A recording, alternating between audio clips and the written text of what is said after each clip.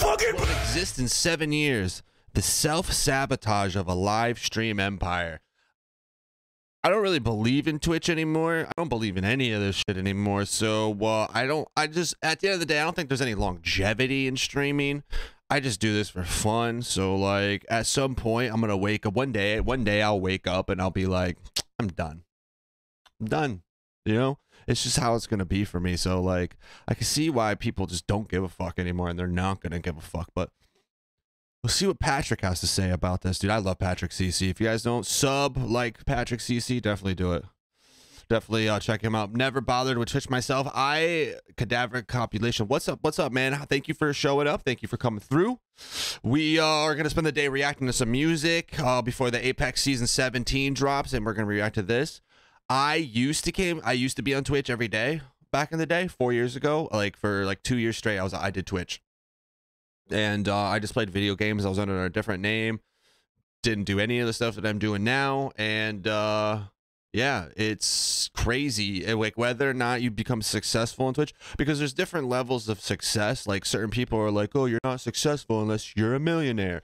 But to me, like I made hundreds of friends. I made thousands of dollars. Like that's success to me, man. Like I had fun with it. So like whether you're gonna have fun or not, it's just like if Twitch isn't fucking you over, it's the streamers and it's the Twitter space that the streamers like engulf into. Like everybody's just such a dog shit fucking person that if Twitch doesn't ruin your mentality, the streamers definitely fucking will because they're all out for themselves. They don't give a fuck about anybody except for themselves. And you know, it's just like I can't trust people that uh don't drive cars and can't do their own laundry or cook for themselves. I just I just can't. I just can't do it, man. It's just how I am. But let's see let's see what Patrick has to say about Twitch. Five dollars a month to get an ad. Twitch has been on a steady decline for the past two years, and they have no idea how to fix it. They're potentially losing which is crazy to think about because of the pandemic and how many streamers came out of the fucking woodwork. But you got to remember a lot of the streamers that I started streaming with four years ago, they don't stream no more. They all gave up or they all like decided it wasn't for them or it was too expensive or too much or too mentally exhausting or they're just fucking pieces of shit and they're still streaming and they're still faking who they are. That's the issue right there, dude. You know how hard it is to become a streamer off of your true personality? Like, and being yourself because we all do shit that can get us canceled 100%. And it's just, it's a matter of time before it fucking comes out for most of these people, you know? Losing hundreds of millions of dollars per year, laying off hundreds of employees, banning some of their most important creators, implementing useless features, and are constantly proving how. This man had Adin Ross up here like he was an important streamer, dude. No, he's not. No, he's not. Stop making videos about Adin Ross. He sucks. Nobody wants to talk about him anymore. I swear, no one gives a fuck about Adin Ross. Adin Ross does something stupid. You know what we actually do? We laugh about it. And we go, what a fucking idiot. Hopefully he gets banned always. He should never be in a thing about Twitch downfalls because he's a piece of shit himself. that's a whole nother fucking, that's a whole nother Pandora's box, man little they know or care about the live streaming community. Twitch has been the biggest live streaming platform for the better YouTube, part of baby. a decade, but there is some competition on the horizon. Although it wouldn't take much for YouTube to put Twitch out of their misery, it's very likely that their collapse will come from their own self-sabotage. Oh, First shit. and foremost, Twitch's financial stability is confusing. And although they reported $2.8 billion in revenue in 2022, it's unclear how much of that, if any, was profit. However, there are a lot of implications that suggest the company is struggling to be in the green. Twitch's four ways of making money are through subscribers who pay $5 a month to get an ad-free experience Don't as sub well to as me. other small benefits. Never sub to me on Twitch. Sub to my YouTube. Always sub to my YouTube. Do not sub to me on Twitch. I do not want to give Twitch my money because I, I stream on Twitch and YouTube at the same time. Always sub to my YouTube, and if you want to give me money, you can donate. But I don't I don't need it. I don't need it.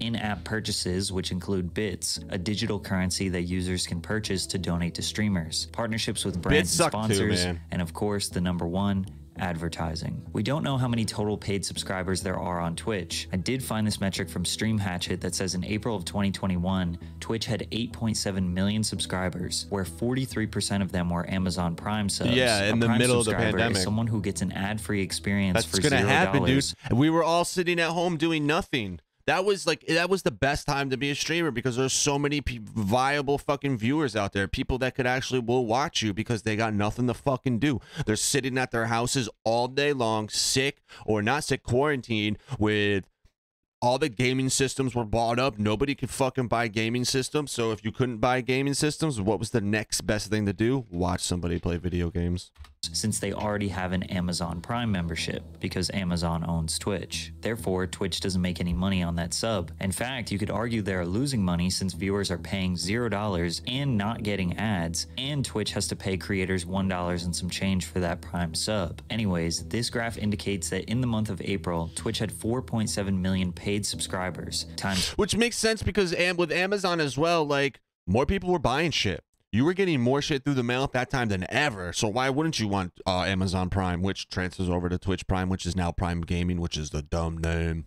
$5, which is 23.5 million times 12 months average, which would be about $282 million in sub revenue in 2021. But Twitch on average receives between 30 and 50% of that money because for affiliate streamers, Twitch takes 50% or $2.50. Twitch was such a weird platform, at least to me. I don't need to pay five dollars to watch people do weird shit. Just watch my friends do dumb shit like we used to in the '90s. So I get exactly where you're coming from, uh, Cadaveric. I, I, it's not for me. It's not based off of like um my friends. It's just like I would love to give my friends five dollars to watch them. You know what I mean? Like that would be fantastic. But if I give you five dollars and you're only getting two fifty of it, that kind of sucks, man. Like I would rather just donate you the five dollars through a different link or just give you five dollars. You know what I mean? Instead of you know you only getting half of it. But it makes sense. Like it's pretty crazy.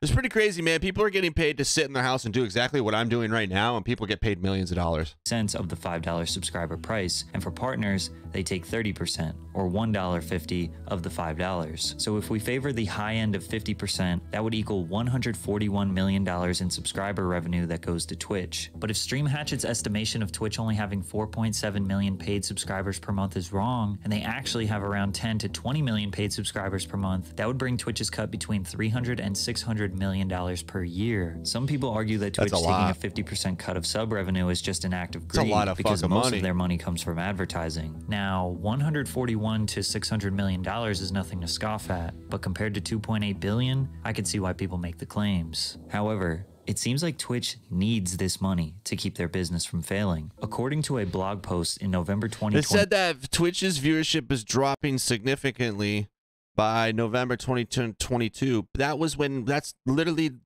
when everybody started stopped being sick and was going out again. Makes sense. Clancy, who is now the CEO, announced that creators who make over $100,000 in sub revenue will no longer get their 70 30 split. It will go down to 50 50, and over time, all creators will split the sub revenue 50 50 with Twitch. Why? Well, because it's too expensive to run Twitch. Delivering high definition, low latency, always available live video to nearly every corner of the world is expensive. Using the published rates from Amazon's Web Services Interactive Video Service, or IVS, which is essentially Twitch video, live video costs for a 100 CCU streamer wow. who streams 200 hours a month. Okay, so Twitch is paying out $1,000 per month per streamer who streams to 100 viewers uh, on average for 200 hours a month. They're paying out $1,000 every month.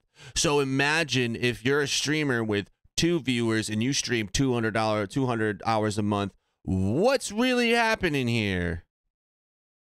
More than $1,000 per month. Now, what they said here is very misleading. If you want to start your own live stream platform, you can pay for Amazon IVS, or basically Twitch's infrastructure. The problem with Dan's statement here is there is simply no way Amazon is charging Twitch the same rate that anyone else would be charged for using IVS. I'm on YouTube Why now because Amazon I don't like do Twitch. Well, again, because, because streaming's kind of dumb. Sometimes. Amazon would charge me or you one thousand dollars per month to deliver. I can't stream every fucking day, man. Like that shit's too much. I used to do that, and it's just like it ruins your fucking life and your mental. You lose everything, dude. I lost my job. My fucking car was breaking down. I didn't give a fuck. Like I just didn't give a fuck about anything other than streaming. That's fucked up, man. I gained so much weight. I was like two hundred and thirty pounds. Blah deliver HD live video to 100 concurrent viewers at 200 hours a month, but they likely charge Twitch at least 50 to 90% less than that. In fact, nobody has any real idea of how much it costs to run Twitch. Obviously, you have employee compensation with thousands of employees, but more importantly, billions of dollars per year in energy costs to maintain those servers and deliver perfect quality on demand streaming all over the world at any given moment. And although we don't know those costs, we could pretty safely say that taking a higher percentage from their partners is not going to cover the expenses. Now, regarding how much Twitch makes from bits, it's unclear, but I'm sure most streamers can agree that bits donations are nowhere near as common as subscribers. Yeah, it was reported bits, that bro. Twitch generated $185 million from in app purchases. I'm not sure if this includes subscribers and bits together or if it's just bits and other microtransactions like badges, gift cards, and loot cave. Either way, we are learning that at best, Twitch is generating roughly $750 million from subs and in app purchases, or at worst, $185 million. Regardless of what the real numbers are, we know that without a doubt, Twitch could never survive on just paid subscribers and in app purchases, Facts. which means that likely the two plus billion dollars in revenue they generated in 2022 pretty much it comes from advertising and brand partnerships. The problem with this is advertisements are destroying the viewer experience. Creators have a terrible revenue split with Twitch, which has led to a near 10% decrease in average viewership and watch time for the past two years. We all know how annoying ads can be. Besides when I do them, because today's video Ads are annoying as fuck, man. Like, you hop into a dude's stream and you get like three seconds of their stream and then boom, ad. And you're like, all right, not, not a big deal. It's an ad. And then you look up in the corner and it's one of six.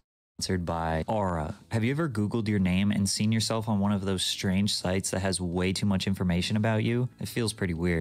To run 8 to 10 minutes of ads per hour, multiple minutes of ads being displayed consecutively will result in viewers either leaving the platform or clicking I hop out immediately, guys. If you have ads on and there's like six to fucking eight of them in a row before I can even say hi, especially if I'm rating you, I'm fucking out. I'll rate you, but I'm out, dude. I'm not waiting fucking three minutes to say hey and get be able to hear you. Oh, I hate that. off to another streamer. The only problem is every time you click on a new stream, you will get hit with another non-skippable 30 second ad. There is no way to skip the ads. There is no way to escape the ads, and there is no way to rewind so the stream fucking and see what you just it's like it's like when you're on um Facebook and you're like, oh, the 30 second video of something new. It's like a 30 second video of like an alligator fucking eating a turtle, and you're like, I want to watch that. And you open it up, and it's a minute long ad, and I'm like, well, I'm not spending a minute to watch 30 seconds. Bye, and I'll close it. This has led to a near 10% decrease in hours watched and average viewers from 2021 to 2022. And both of those metrics are also down in 2023 by 5%. Simply put, there are too many ads on Twitch, but that's a good thing for the company, right? Well, not exactly. Twitch does not have an immense amount of data on who their viewers are because there isn't a whole lot to do on the platform to track it. Think about YouTube, TikTok, and Instagram. In just a few minutes, you will be exposed to a large variety of different niches, and you are actively pressing the like button or stopping to engage with the content. The amount of specific information you give about yourself without realizing is just data that gets organized and used to sell targeted ads And that's the reason why if you go onto TikTok and there's like a video of a girl shaking her ass and you look at it for too long, or if you click her profile, all the rest of your videos for the next like two days will be girls shaking their ass. It's fucking crazy, man. to you. It took me weeks to get my shit back to normal. Like I was going through this thing on TikTok where there was legit naked boobies, and I was like, "What the?" F-? My whole TikTok was full of it, the whole thing. And I showed my girlfriend and I showed my other friends, and they were like, "We have no idea what you're talking about."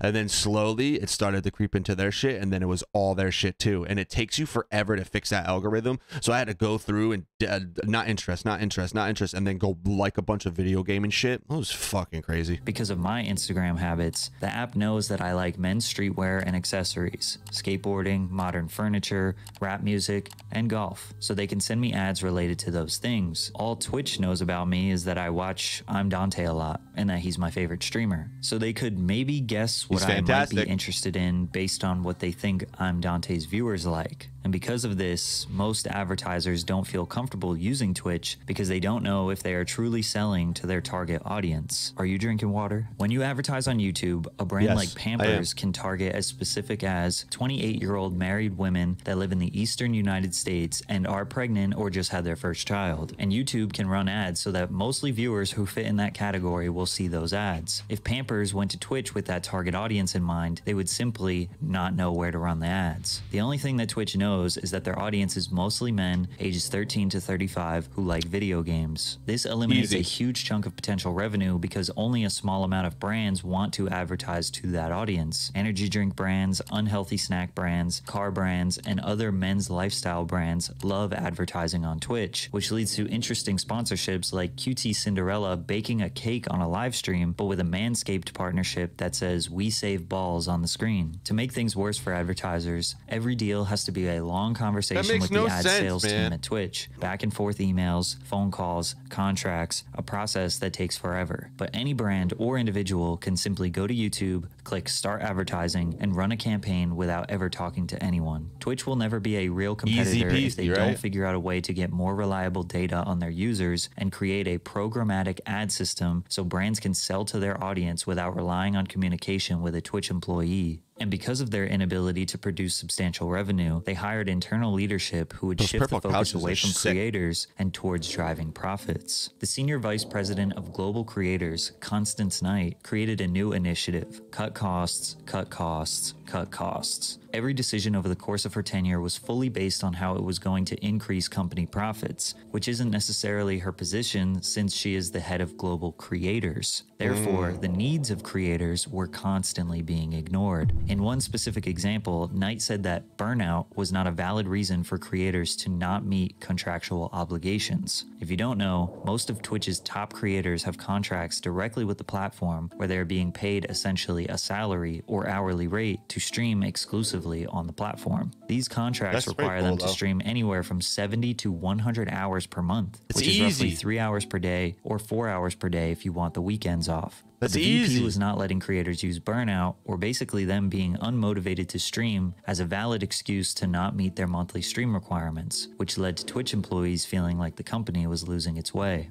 12 Twitch employees had gone to HR or logged complaints with their superiors overnight. Five had left the company citing Knight as a reason. Now, some of you watching could never be convinced that sitting at a computer and playing video games could become a stressful or an annoying job in any way, shape, or form. But at the end of the day, it still is a job, and anyone can burn out from any job that they do every single day for years. Another previous Twitch employee took to Facts. YouTube to state how they feel about the company. Twitch doesn't care about creators. Twitch cares about looking like they care about creators. Everything Twitch has done for the last four years has been with the goal of feeling like they understand and care.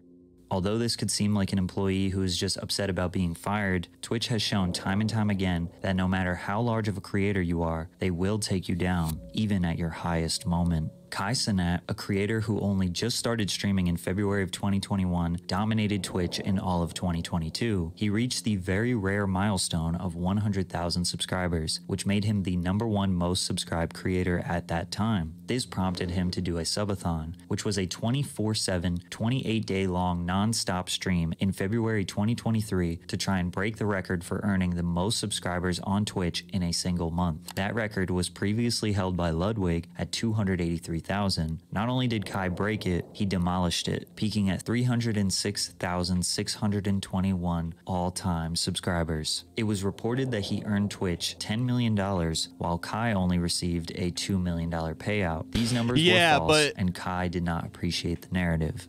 Twitch man. This man also fucking got also got fucking jerked off on stream. Can you drop the link to the donate to the donation, please?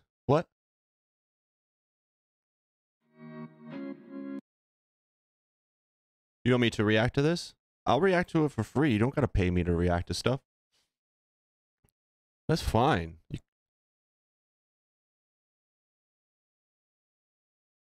made 15 to 20 million dollars on Kai Cenat. Yeah, dude, he did a 24-hour, 7 days a week stream for 30 days and there was a there was a scene where he was in his kitchen with his friends and he's literally getting jerked off under the table. You could see the woman's arm.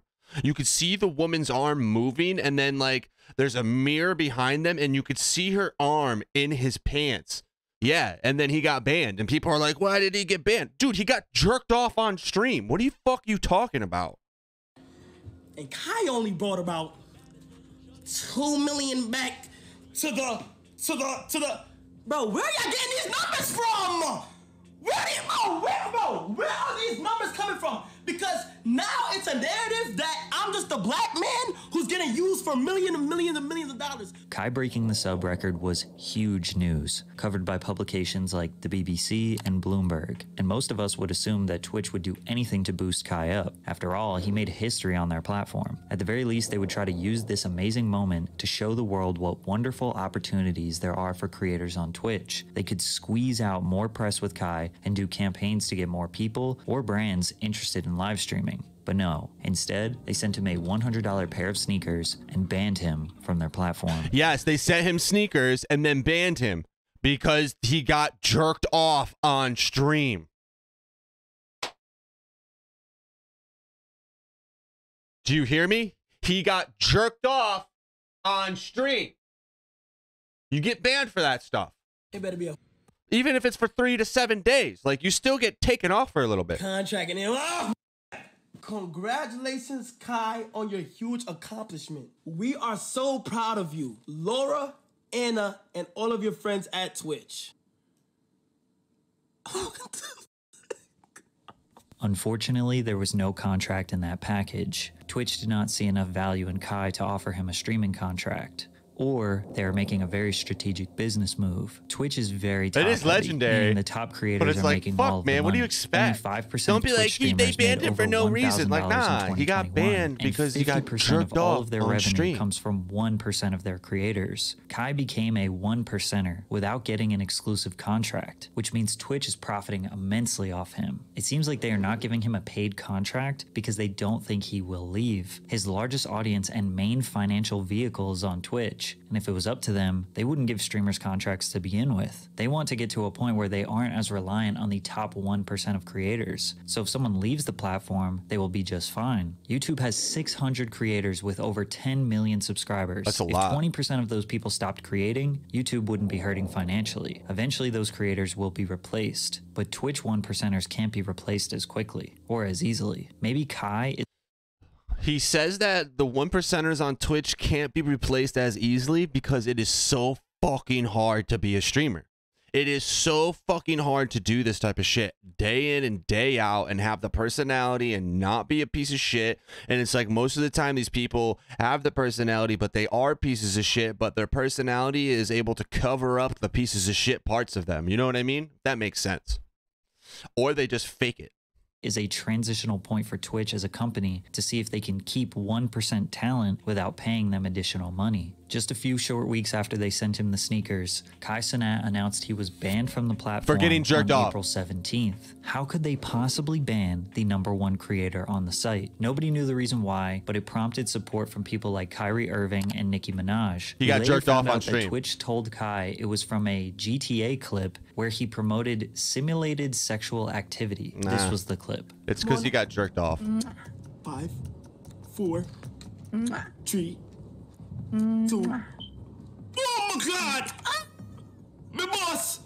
Did you come My boss! He pretended like he was receiving services from a fake woman in a video game. Meanwhile, there's a ton of real borderline sexual activity on that website, let There's a alone lot of it. simulated. Twitch is just reminding him that he, no matter how big he is, will You got to think it's multiple things that he's done that gets you banned. You don't just get banned right off rip. You get a warning most of the time, but like like I said, bro, he got jerked off the month before on stream and didn't get banned, and then he gets banned for this. They were probably like, "Yo, he got jerked off last month, and now he's pretending to get a blowjob now not be able- and coming in a, a fake girl's face."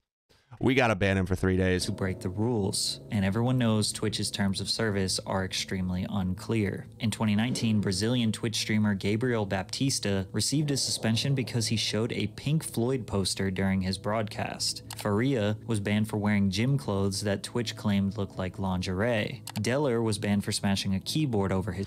Dellor's also a piece of shit. Stop using pieces of shit in these videos as examples, man. You had Adin Ross right at the beginning, who's transphobic and a bigot, so it doesn't matter what he says or does. Kai Cenat likes to get jerked off on stream and makes like all this sexual shit on his stream. It's gonna happen. And now you're gonna show Dellor, who's known to drop the N-word on stream during fucking Overwatch events, got kicked out of pro Overwatch, and now is just a shitty ass streamer that sits in his house and cries that he has no friends and he's miserable. So he beats himself up with a keyboard.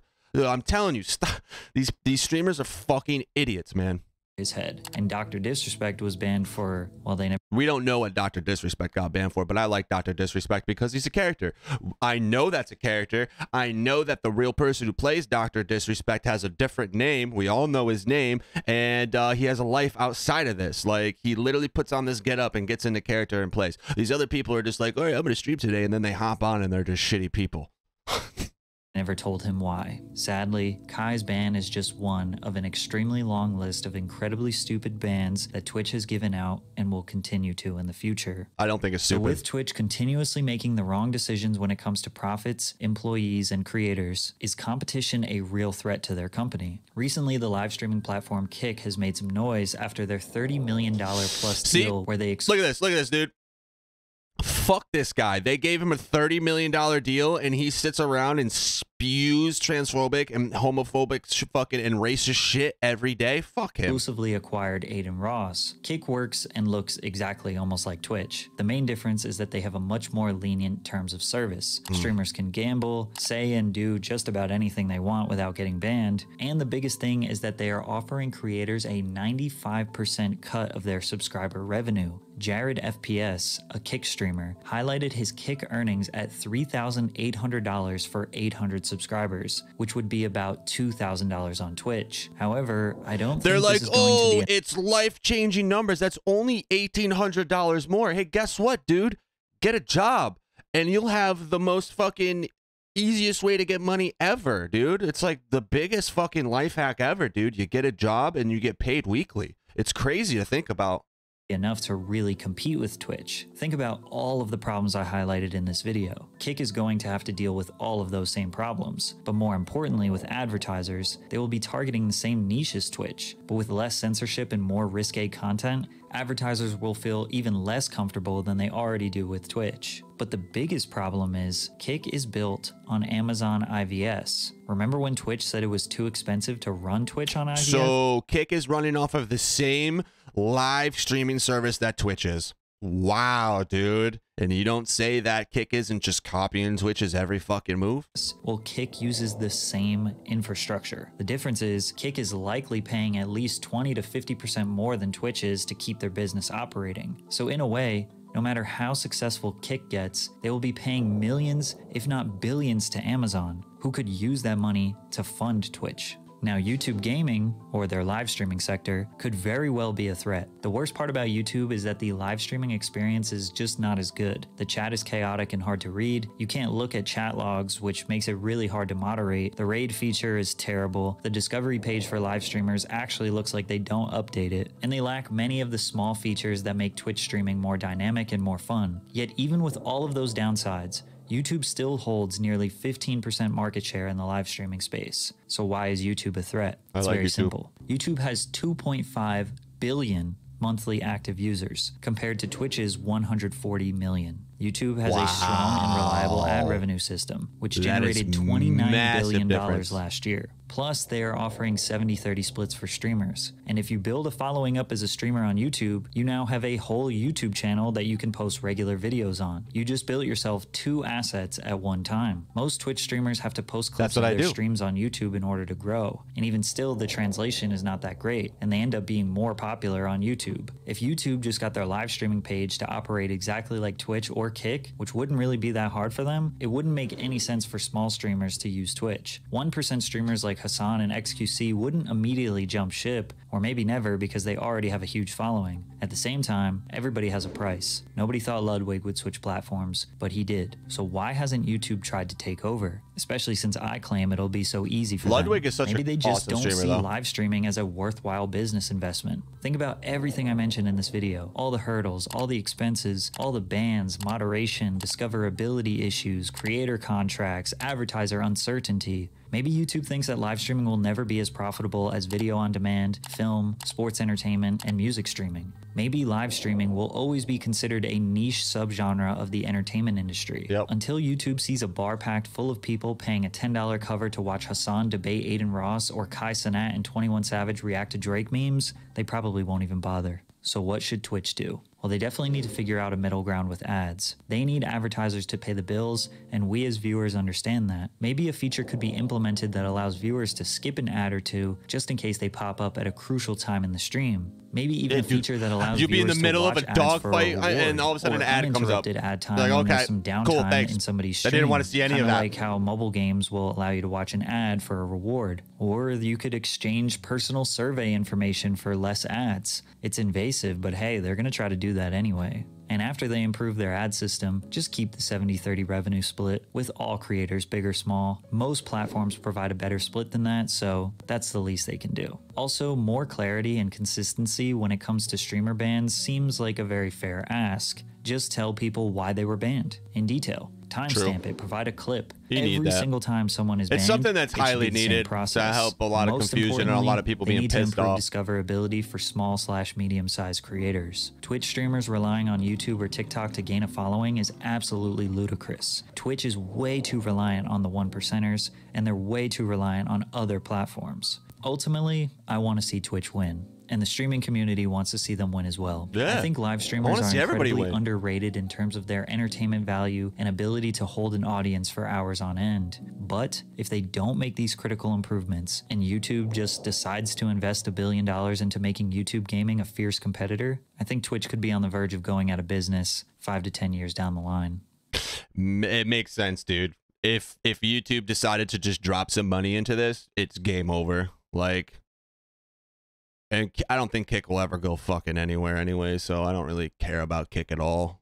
Kick is more about money than morals, and that sucks. But that's a whole nother fucking basket as well, man. But yeah, Twitch won't exist in seven years.